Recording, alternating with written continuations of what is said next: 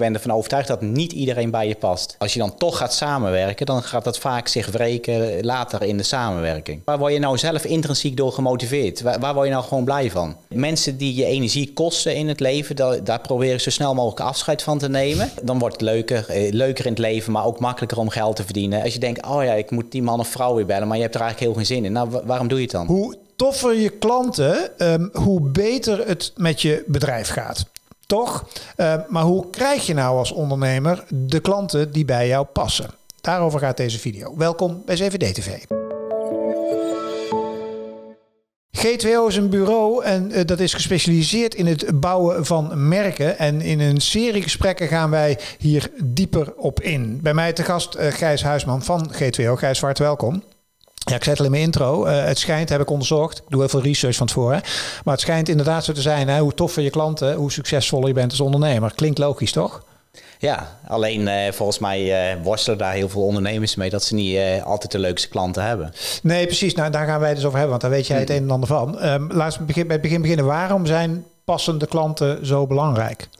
Nou, dat doet heel veel met je organisatie, maar ook met jouw medewerkers. Als ze voor mensen mogen werken die eh, echt een, ja, een fit zijn met je organisatie, dan stroomt gewoon letterlijk de energie beter. En dan is iedereen meer in zijn vel en dan gaat alles gewoon op een leuke manier en eh, in harmonie met elkaar. En wat is een passende klant? Nou, een klant die bij je past, dat, eh, wij zeggen altijd van je moet een klik met iemand hebben. Dat begrijpt iedereen. En eh, je hebt zeg maar soms eh, klanten waar je die klik mee, mee hebt. En soms dat je denkt, nee, die klik heb je helemaal niet. En als je dan toch gaat samenwerken, dan gaat dat vaak zich wreken later in de samenwerking. Hm. Ik heb eens een wat rondgekeken en dan hoor je een aantal argumenten die, die zeg maar, ja, niet tegen zijn. Maar die, dit, ik ben benieuwd wat jij ervan vindt. Hè, van wat je dan hoort in de markt als het over dit onderwerp gaat. Hè. Dus eh, een van de argumenten die ik hoorde.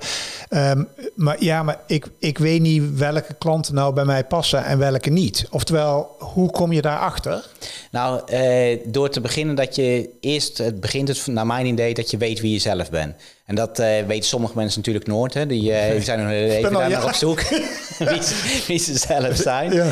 Maar, eh, nou, maar daar, daar helpen wij bedrijven bij. En dan gaat het erom, waar word jij als bedrijf, eh, CQ-eigenaar, als leidinggever, maar dat zit vaak ook in een cultuur.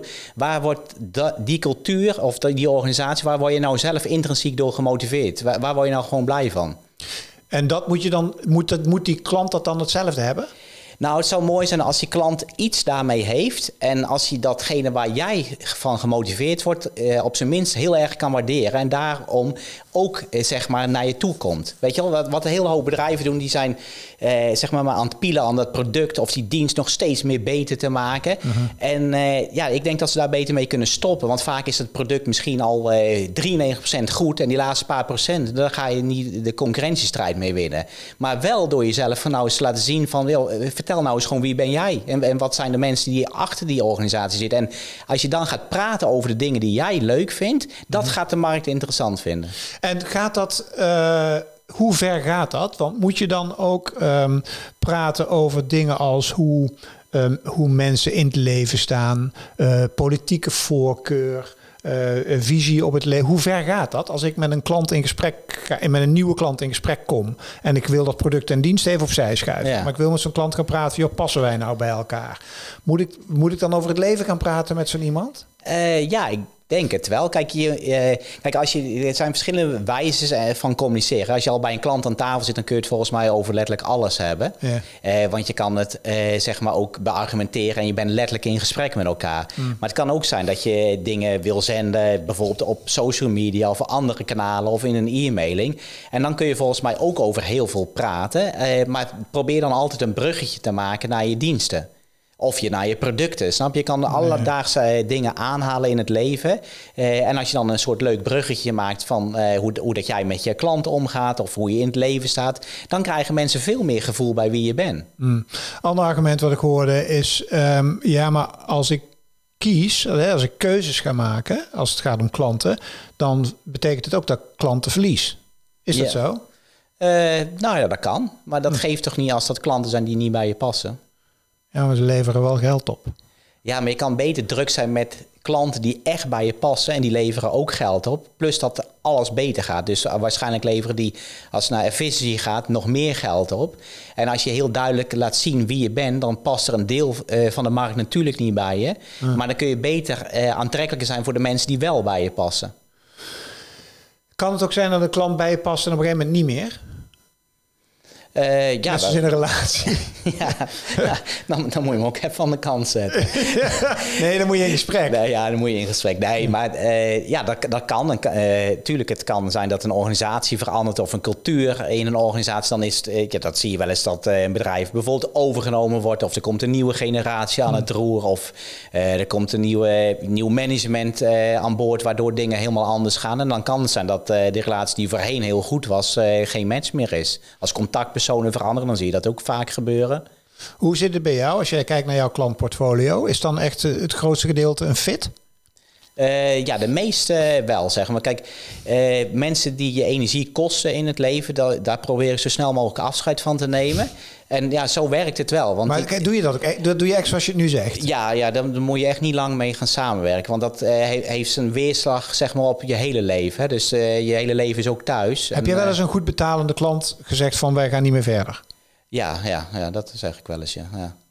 Ja, want nee, maar dat is oprecht. Want eh, als, als je de, de, klanten die je aandacht geeft en die je bij je passen, daar is het heel leuk mee samenwerken. En dat levert niet altijd het meeste geld op. Maar eh, geld is ook niet ja, het allerbelangrijkste. Je hebt het nodig en natuurlijk als bedrijf moet je renderen.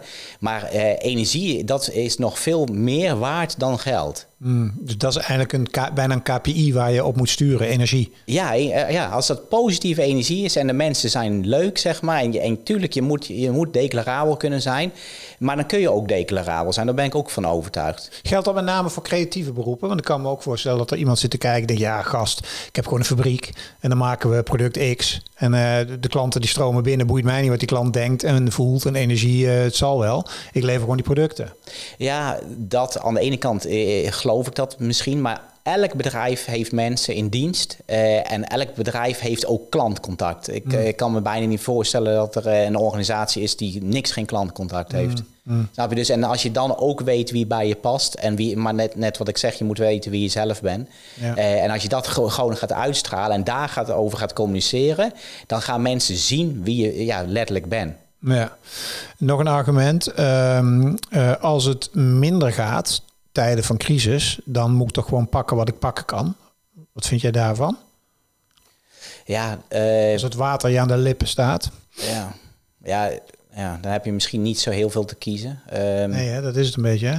Maar goed, aan de andere kant is het dan nog wel interessant om te kijken van, joh, uh, ja, hoeveel werk heb je dan in voorgaande tijd gemaakt van je branding? Dus met andere woorden, hoeveel en wat heb je gecommuniceerd in voorgaande tijden? Ik zie zoveel bedrijven en mensen die amper iets communiceren en, en heel veel ja, product, dienstgerelateerd communiceren. Mm. En wat, wat doen ze? Ze kijken naar de massa, naar wat doet de markt? Ja, mijn concurrent die doet dit, oh, dan moeten we dat ook gaan roepen. Oh, die gaat daar iets over vertellen, gaan wij dat ook doen. Mm. Maar gewoon, blijf nou eens gewoon bij jezelf. Mm. Weet je wel? En als je dan gaat praten over de dingen die jouw energie geven en wat je gaaf vindt om te doen. En er zijn zoveel dingen. Elk bedrijf doet hele mooie dingen. Alleen, en sommigen die durven daar niet eens over te vertellen. Die vinden dat eng. Want dan, ja, als je iets, iets blootgeeft, dan uh, ja, kun je er ook op afgerekend worden. Maar als je gewoon duidelijk voor je product of je diensten staat en je gaat daar op een leuke manier over kletsen, ja, dan, dan trek je, ja, en dat uitstralen, de uitstralen wie je vanzelf bent. Want vaak zijn de mensen, als je ze spreekt, veel leuker dan dat hun bedrijf uitstraalt. Hè? Dat is ook nog eens een keer zo. Ja, klopt. Ja. zeker ook als je naar websites kijkt bijvoorbeeld, die doen het ook vaak echt heel slecht. Ja, ja. en dat vind ik altijd fascinerend. Dan denk ik, ja, je bent eigenlijk best wel een leuke man of vrouw. En waarom eh, straal je dat niet uit in je organisatie? Is het, en is het Calvinisme ook wat ons een beetje dwars zit daarin? Speelt dat? Ja, misschien wel. Sommigen die hebben natuurlijk uh, meer ja, een soort uh, aanleg ervoor om te gaan communiceren of vinden dat belangrijker, omdat letterlijk hun energie ook in dat stuk zit. Mm -hmm. En de ander die zal dat minder hebben. Uh, dus ik geloof wel, maar ja, ze willen allemaal klanten en uiteindelijk willen ze allemaal meer omzet. Ja. Hoe Calvinistisch we ook zijn, dat vinden we wel weer belangrijk. Ja, dat is waar. Het laatste argument wat ik ook hoorde, heb ik daarna nog een paar vragen. Maar het laatste argument wat ik hoorde is: ja, typisch ondernemer, iedereen heeft mijn product of dienst nodig. Uh, misschien is dat zo dat ze jouw product of dienst nodig hebben, maar ik ben ervan overtuigd dat niet iedereen bij je past. Aha. En ik zeg altijd van, je kan beter maar dan een, een, een deel van die taart hebben, en maar dan wel dat deel wat echt bij je past. En de belangrijkste reden die jij schetst, of die jij aangeeft waarom je dat moet doen, is omdat dat is dat energieverhaal. Eigenlijk gewoon dat het leuker wordt. Ja, dan wordt het leuker. Eh, leuker in het leven, maar ook makkelijker om geld te verdienen. Eh, Dan weten ze je op waarde te schatten, zeg maar. Eh, weet je wel, maar nog zoiets. mensen die gaan soms ook maar bellen achter klanten aan. Ze zijn op de transactie gericht. maar ik, ik bel nooit een klant op bijna. Weet je wel, dat, uh, ja, natuurlijk, je moet goed voor ze zorgen. Uh, maar als een klant, als je echt fascinerende dingen doet mm. uh, en je, je bent van waarde, dan blijven klanten ook klant en dan blijven ze ook bellen. Hou jij het wel bij, zo'n relatie? Of hou je, hoe onderhoud jij klantenrelaties met passende klanten? Uh, nou, dan is het ook geen opoffering om eens een keer in gesprek te gaan met zijn klant. Hè. Dat, dat, is gewoon met alles zo in, in, het leven. Als je mensen gewoon leuk vindt, dan is het ook gewoon leuk om naar die mensen toe te gaan. Uh, of als ze weer bij je komen. Ja. Maar uh, wanneer je bellijstjes af gaat werken en vinken, is als, als je denkt: oh ja, ik moet die man of vrouw weer bellen, maar je hebt er eigenlijk heel geen zin in. Nou, waarom doe je het dan? Dan kun je zeggen, ja, hij levert geld op. Maar er zijn ook, ook klanten, daar ben ik van overtuigd, die ook geld opleveren en wel bij je passen. Maar ga daar dan energie in stoppen. En dat is weer het probleem dat vaak heel veel ondernemingen, en zeker met salesmensen, die worden op de transacties afgerekend. Uh, maar als je kan zeggen, joh, we, we hebben een leuk verhaal geschreven, want dat motiveert mij vandaag. Uh, daar is niet direct een transactie aan gekoppeld, maar dat is allemaal op korte termijn gericht. En ik geloof er echt oprecht in dat je, als je aan de lange termijn denkt en werkt, en je gaat dat meer vertellen, dat je op een duurzame manier in je merk investeert. En in je klantrelaties. En in je dus. klantrelaties, ja. ja. ja. zouden we eigenlijk een soort Tinder moeten zijn. Van, van ja, maar, nou, nee, maar alles wat jij nu schetst is bijna nergens te vinden. Als je ziet hoe het mechanisme draait in ondernemend Nederland, hoe bedrijven en klanten, hoe dat elkaar vindt, daar heeft dit weinig, ook als je kijkt naar een LinkedIn of whatever, ja, daar wordt wel van alle dingen gecommuniceerd. Maar er is ook eigenlijk geen soort matchmaking tool die op basis van energie, visie, hoe je in het leven staat, de entiteit van je bedrijf, en dat je dat kan koppelen aan, aan de markt. Ja, misschien is er een kijker die dit een, geweldig idee vindt, die ermee begint. Ik vind wel iets. ja. een paar vragen. Uh, hoe, uh, hoe zorg je nou, stel, ik ken mezelf goed uh, en ik heb ook een goed beeld bij wat voor soort klanten ik wil en welke ik niet wil, welke bij me passen, bla bla. Hoe kom ik er dan aan? Uh, dan moet je toch gaan communiceren. Dus wel kijken van uh, wat is de markt, waar richt ik me op. En dan in de kanalen waar jouw klanten zich bewegen, moet je wel gaan communiceren. Want uh, ja, onbekend maakt onbemind. En, en laat zijn grote klanten belangrijker dan kleine?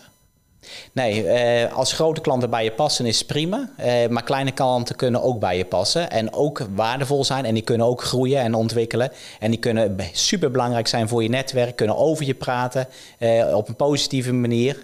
doordat ze heel goed bij je passen. En dat leven kan op termijn ook heel veel opleveren. Hoeveel klanten heb jij eigenlijk? heel erg veel. en dan komt ook heel veel energie van nieuwe klanten krijgen. Ja, maar, ik ben minder goed gewoon in het onderhouden van de relatie. Daar zit mijn uh, zwakte. Ja, mijn zwakte gewoon. Ik krijg elke keer heel veel energie van als er weer iemand belt die nieuw is. En uh, een nieuw product of dienst, dat vind ik altijd weer interessant. Ja, ja, en ik ben minder goed zeg maar om uh, vaste klanten heel vaak te bezoeken. Hoe, wat vind je vrouw ervan? impertinente vraag. Want dat kan je privé wel, relatie onderhouden. Ja, dat doe ik mijn best voor, ja. Mag je dank voor dit gesprek, Gijs. en wil jij nou nog meer gesprekken zien die gaan over... Want we hebben het al eerder gehad in andere gesprekken over uh, internal branding bijvoorbeeld. Over employer branding. Nou, over merkstrategie, hoe je dat kan doen. Uh, er is een hele playlist van op het YouTube-kanaal van 7D-TV. Dus kijk daar alsjeblieft. En je kan uiteraard ook gewoon Gijs bereiken via zijn prachtige website van G2O. Voor nu, dankjewel. Hoi.